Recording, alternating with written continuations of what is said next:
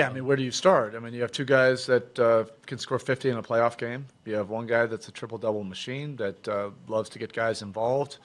Uh, you know, so you go down the myr- myriad of list of myriad of things you can do uh, defensively. Uh, you have to check off some things that you don't really want to do um, because of both their ability to, to score and Jokic's ability to create something um, kind of off script. Uh, but look, this is what the finals is about. You're, I said it before game one. You're not playing ducks. You're not playing, you know, easy competition. Uh, you have to find a way to overcome it, even if great players are playing great.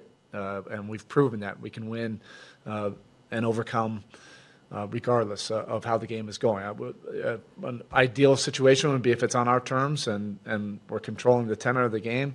Uh, but we've also won games where we, we haven't been able to do that for, for the entire game.